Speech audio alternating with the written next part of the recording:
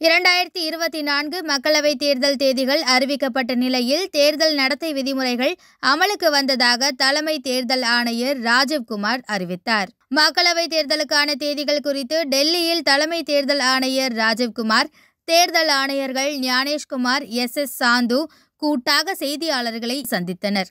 அப்போது ஏழு கட்டங்களாக மக்களவைத் தேர்தல் நடத்தப்படும் என்று அறிவித்த தேர்தல் ஆணையம் தேர்தல் நடத்தை விதிமுறைகளை பதினாறாம் தேதி முதல் அமலுக்கு வந்ததாக அறிவித்துள்ளது.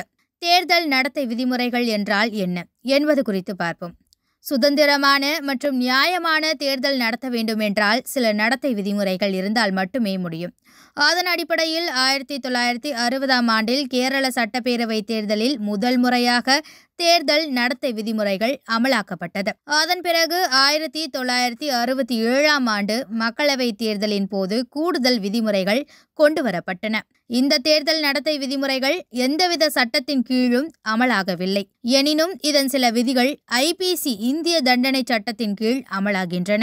இந்நிலையில் தேர்தலுக்கான அறிவிப்பு வெளியாகியவுடன் இந்தியாவில் உள்ள ஐநூற்றி நாற்பத்தி மூன்று நாடாளுமன்ற தொகுதிகளிலும் மாடல் கோட் ஆஃப் கான்டக்ட் எனப்படும் தேர்தல் நடத்தை விதிமுறைகள் அமலுக்கு வந்துவிடும். இவ்வாறு அமலுக்கு வந்துள்ள தேர்தல் நடத்தை விதிமுறைகள் என்னென்ன கட்டுப்பாடுகள் இருக்கிறது என்பது குறித்து பார்ப்போம். மத்திய மற்றும் மாநில அரசுகள் எந்தவித அரசு அறிவிப்புகள் பதவியேற்பு அடிக்கல் நாட்டல் பூமி பூஜை போன்ற நிகழ்ச்சிகளை செய்ய முடியாது என்று விதிமுறைகள் குறிப்பிடுகின்றன. மத்திய அமைச்சர்கள் எம்பிக்கள் உள்ளிட்ட மக்கள் பிரதிநிதிகள் தங்களின் தொகுதி மேம்பாட்டு நிதியில் எதையும் செய்ய முடியாது. பிரதமர் மத்திய அமைச்சர்கள் எம்பிக்கள் அரசு இயந்திரத்தை வழக்கம் போல் பயன்படுத்த முடியாது. தேர்தல் பிரச்சார வேளைகளில் அரசு பங்களாக்கள் ஓய்வு இல்லங்கள் அரசு விடுதிகளை ஆளும் கட்சியினரும் அந்த கட்சியின் வேட்பாளர்களும் பயன்படுத்த முடியாது. மேலும் அதனை பிரச்சார அலுவலகமாகவும் பயன்படுத்த முடியாது. போட்டி தேர்வு முடிவு நியமனம் உள்ளிட்டவை தடை செய்யப்படும். ஒரு கட்சியின் வேட்பாளர் அல்லது ஆதரவாளர்கள் பேரணி ஊர்வலம் அல்லது தேர்தல் கூட்டத்தை நடத்துவதற்கு முன்பு காவல்துறையிடம் கட்டாயம் அனுமதி பெற வேண்டும். எந்த ஒரு அரசியல் கட்சியும் சாதி அல்லது மத அடிப்படையில் வாக்காளர்களிடம் வாக்குகளை கோரக்கூடாது. மதம் அல்லது சாதி அடிப்படையில் வேறுபாடுகள் அல்லது பதற்றங்களை உருவாக்கக்கூடிய எந்த ஒரு செயலிலும் ஈடுபடக்கூடாது.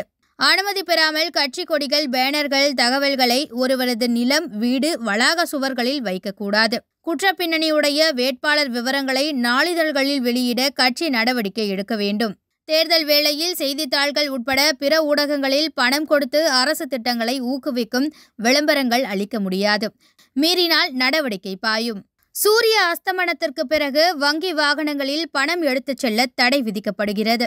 வாக்குக்கு படம் பொருட்கள் உள்ளிட்டவற்றை வாக்காளர்களுக்கு கொடுத்தால் கடும் நடவடிக்கை எடுக்கப்படும். ஆன்லைன் பண பரிவர்த்தனைக்கும் கட்டுப்பாடுகள் விதிக்கப்பட்டுள்ளன. பண பரிவர்த்தனை தொடர்பாக வருமான வரித்துறை மற்றும் அமலாக்கத்துறையினர் தொடர்ந்து கண்காணிப்பார்கள். உரிய ஆவணங்கள் இன்றி பெரிய தொகைகளை எடுத்துச் சென்றால் பறிமுதல் செய்து அரசு கருவூலத்தில் ஒப்படைக்கப்படும். சமூக விரோதிகளுக்கு எதிராக கடுமையான நடவடிக்கை பாயும். சமூக வலைதளங்களில் விமர்சனங்கள் செய்யலாம். ஆனால் போலி செய்திகளை பரப்பக்கூடாது. அப்படி பரப்பினால் கடும் தண்டனை விதிக்கப்படும். அரசியல் கட்சிகளின் நட்சத்திர பேச்சாளர்கள் கண்ணியத்துடன் பரப்புரையில் ஈடுபட வேண்டும். விளம்பரங்களை நம்பத்தகுந்த செய்தியாக்க முயற்சிக்க கூடாது தேர்தல் பரப்புரையில் குழந்தைகள் மாற்றுத்திறனாளிகளை பயன்படுத்தக்கூடாது. வாக்காளர்களை வாக்குச்சாவடிகளுக்கு வாகனத்தில் அழைத்துச் செல்லக்கூடாது. பிரச்சார தடை காலத்தில் பிரச்சாரம் செய்யக்கூடாது. அனுமதிக்கப்பட்ட நேரத்திற்கு மேல் கூட்டங்கள் கூட்டக்கூடாது. வேட்புமனு தாக்கல் செய்பவர்கள் வெளிநாடுகளில் தங்களுக்கு உள்ள சொத்துக்கள் குறித்த விவரங்களையும் கடந்த ஐந்து ஆண்டு கால வருமான வரி கணக்குகளையும் கட்டாயம் சமர்ப்பிக்க வேண்டும். வாக்குப்பதிவு நாளில் மதுக்கடைகள் மூடப்பட்டிருக்கும். இதுபோன்ற எண்ணற்ற விதிமுறைகள் உள்ளன. இந்த தேர்தல் நடத்தை விதிமுறைகளை மீறினால் என்ன நடக்கும்?